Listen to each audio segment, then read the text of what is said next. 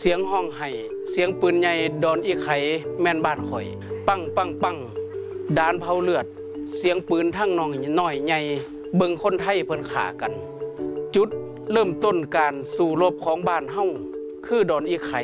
จุดตัวนั้นก็เลยมาถึงปัจจุบันก็เลยเป็นแหล่งท่องเที่ยวโดยธรรมชาติ ที่เฮาได้เดินศึกษาไป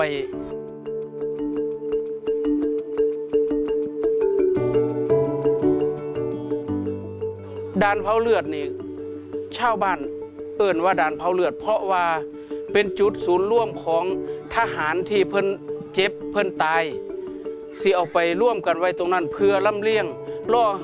เฮลิคอปเตอร์จากทางรัฐบาลมาเอา เมื่อเอาไปแล้วสิเหลือเลือดที่กองท่วมอยู่แถวนั้นอ่าชาวบ้านที่อยู่แถวนั้นก็ขึ้นไปกระทำการเผาทำการทำลาย เพื่อบ่ให้กินเลือดกินข้าวคุ นั่นแหละคือที่มาที่ไปของด่านตัวนั้นที่เอื่นด่านเผาเลือด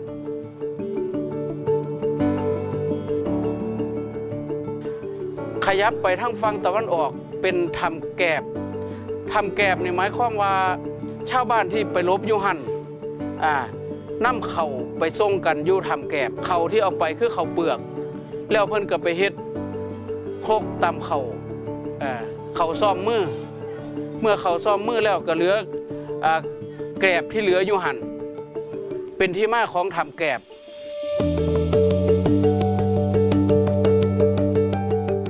ขยขยับลงมาฟังทั้งตะเว้นตกกสิมีสร้างพญาอินอ่าสร้างพญาอินนี่ความเป็นมาคือว่ามันมีล้านล้านหนึ่งสีทองคล้ายๆว่ามีสิ่งศักดิ์สิทธิ์เพิ่นเลยเอิ้นพญาอินมาอาบมาเล่นยูหัน ก็เลยชาวบ้านก็เลยตั้งชื่อสางพญาอินเป็นบ้าเอ่อเป็นน้ำสางเป็นบ่อที่รอเลี้ยงชุมชนของเฮาเมื่อขึ้นไปหาของปลา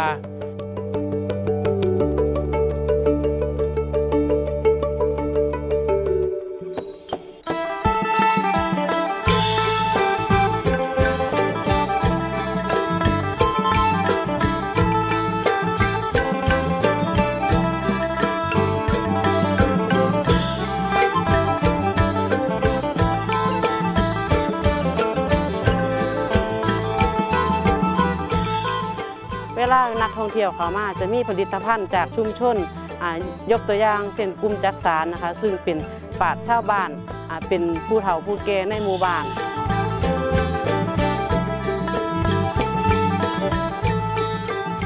และนอกจากนั้นนะคะจะมีกลุ่มท่อผ่าเป็นกลุ่มท่อผ่าของดังเดิมของบ้านบัวแก่น้อยที่เอา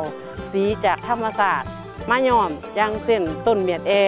ต้นเมียดแอพอเอามาย้อมแล้วจะออกเป็นสีม่วงนะคะ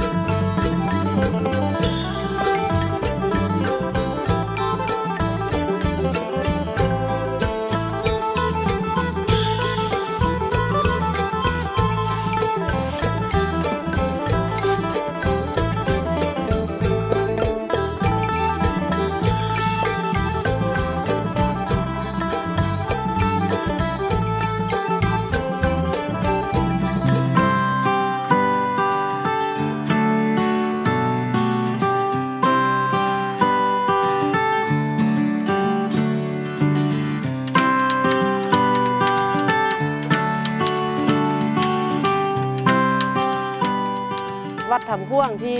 ที่เป็นแหล่งท่องเที่ยวจุดลักของตำบลปทุมวาดปี ก็คือวัดทำพ่วงเนี่ยเป็นวัดที่หลวงปู่วันหลวงปู่หมันเพิ่นเคยมาอยู่นะคะเส้นทางยางธรรมะนะคะหลวงปู่หมันก่อนที่เพิ่นจะไปอยู่วัดป่าสุทธาวาสวัดป่าหนองพือหน้าในเพิ่นมาบวชที่ประขาวอยู่บ้านหนองแวงหนองเจริญเป็นชนเผ่าสูแล้วเพิ่นก็ไปอยู่วัดทำพ่วงจะเป็นอ่าสังเวชนียสถานสี่ตำบล ที่จำลองมาจากประเทศอินเดีย ซึ่งมีหลวงปู่หลอเป็นเจ้าอาวาสเพิ่นได้เล่งเห็นว่าลูกหลานบ้านเฮาบ่ได้มีทุนทรัพย์ที่จะไปถึงประเทศอินเดีย